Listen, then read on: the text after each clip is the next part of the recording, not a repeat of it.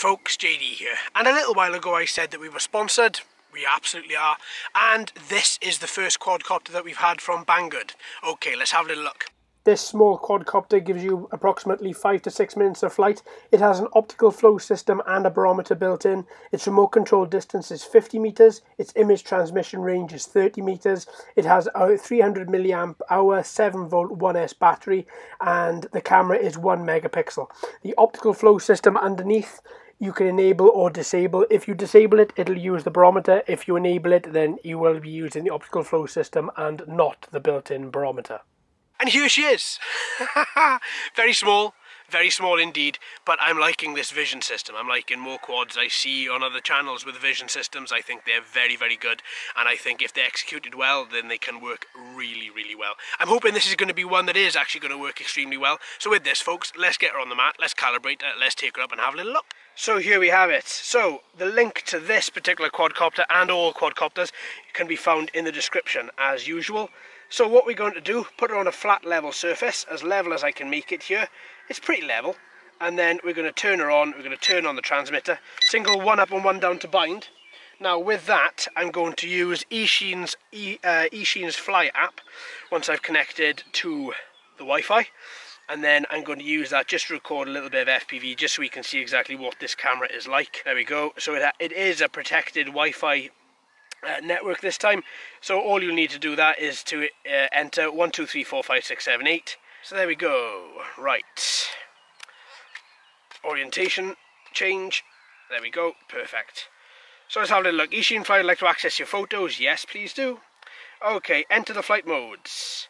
So then we should have direct, yeah, there we go, perfect. So it knows I'm using a transmitter, so it's turned off automatically the, uh, the analog sticks.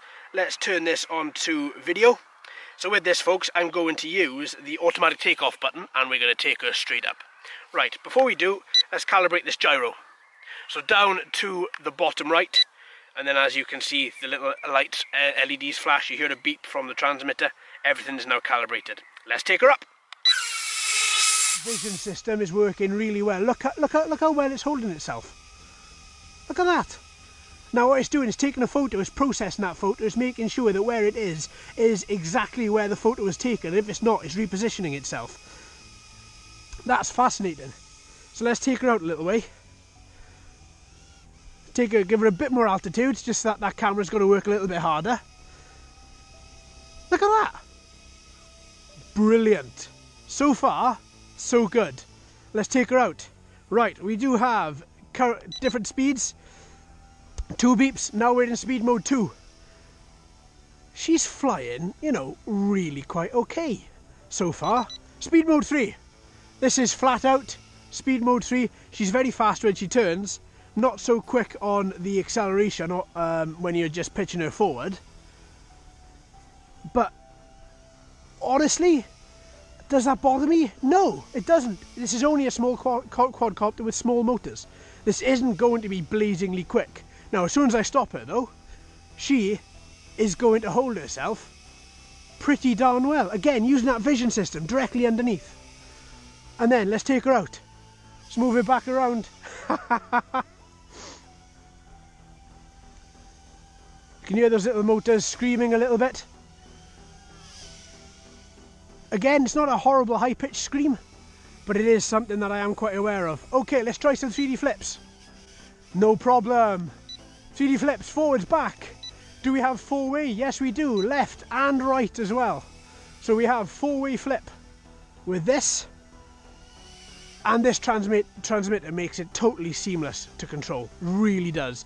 I get the same feeling from this now as when I was flying the, uh, the Parrot swing a little while ago. And it just feels so, so easy to control. It feels balanced. The analog sticks feel very, very good indeed. Okay, so back to speed mode 1. And as you can see, there is a definite difference here with the speed mode. Okay, so we have got a low battery warning. I just stopped recording video. I want to try and maximize this battery as much as I can. Now the low battery warning on this particular quadcopter comes in the form of a flashing battery on the bottom of the interface of the Eachine Fly, as you can see there. Now obviously if you don't use the vision system the battery's going to last you even longer. If you do want to use a vision system, which is what I've got, then you will ex ex uh, expect slightly lower battery times because obviously it is taking photos, it is processing those photos side by side. It is really, really good. You can feel the wind coming off this thing directly there where my hand is. It's actually really, really good. I'm really quite impressed with this little thing.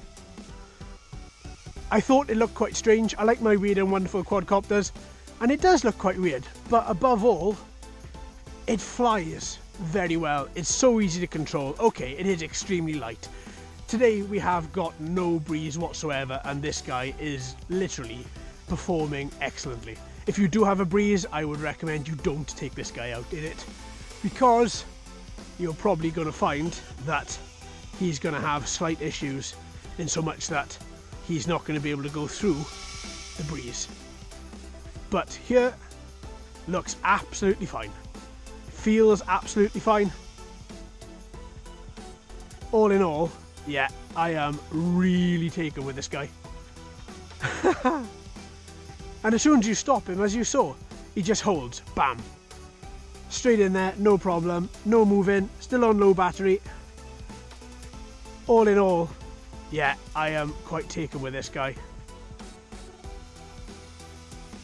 He performs really well. That vision system does exactly what it says on the tin. It's going to hold him in place. It absolutely does.